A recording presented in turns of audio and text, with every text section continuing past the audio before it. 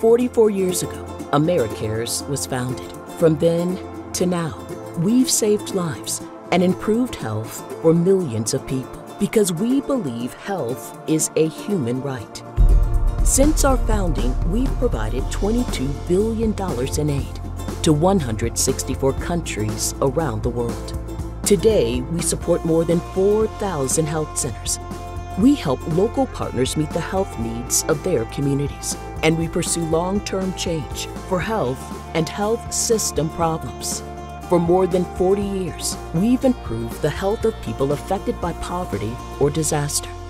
And our work continues because we envision a world in which all people have pathways to health and opportunity.